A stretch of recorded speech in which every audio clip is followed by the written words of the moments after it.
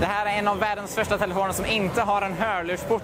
Vi pratar om det i en video om Moto Z.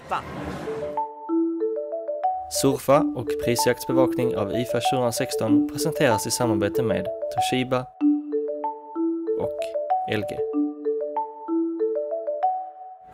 Vi står här på IFA 2016 i Lenovos bås och innan vi drar igång så ska jag be om ursäkt för vilken otroligt hög ljudvolym det är här. Eh, hoppas att ni hör mig bra, att det inte är allt för jobbigt. Men här har jag Moto Z, en telefon från Lenovo som har en riktigt imponerande design.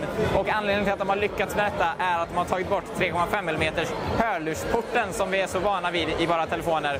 Och eh, frågan är om den är en hörlursport är någonting man verkligen behöver eller om det går bra att ta bort den. Vi ska ta en titt på den här. Eh, vi zoomar in här och detta är alltså Moto Z. Detta är en oerhört tunn telefon. Under 6 mm. Här kan vi jämföra med Samsung Galaxy Note 7 så ser vi en riktigt stor skillnad.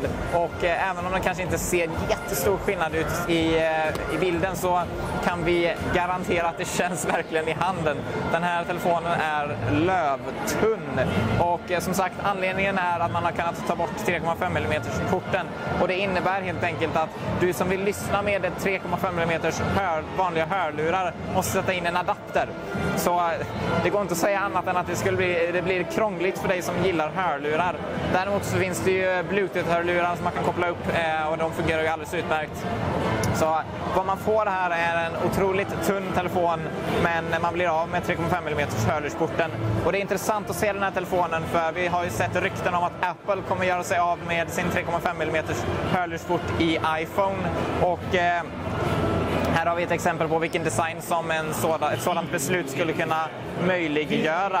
Eh, just den här telefonen har eh, ganska imponerande specifikationer men batteritiden är ju inte riktigt så lång som Motorola kan erbjuda många andra telefoner som är lite tjockare. Just eftersom man inte helt enkelt får plats med ett, telefon, eller ett batteri som är så tjockt. En annan intressant funktion med den här telefonen dock är de här små grejerna på framsidan. De syns ganska tydligt på det vita exemplaret men inte så tydligt på det svarta exemplaret. Detta är IR-sensorer och de gör det möjligt att när man stänger av telefonen och exempelvis vill läsa en notis eller se vad klockan är, tar man bara handen ovanför så visas klockan och notiserna på skärmen. Så man behöver inte låsa upp telefonen utan bara hålla handen ovanför den så låses den upp, eller så visas notiserna helt automatiskt.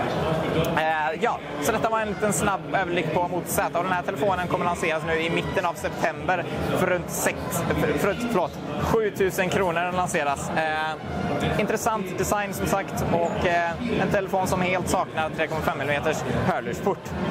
Tack för att du tittade. Gilla gärna videon och kommentera gärna här nedanför om du har någon fråga. Prenumerera gärna på Youtube för fler videos från IFA 2016 och glöm inte följa oss på Facebook för fler uppdateringar från mobilvärlden.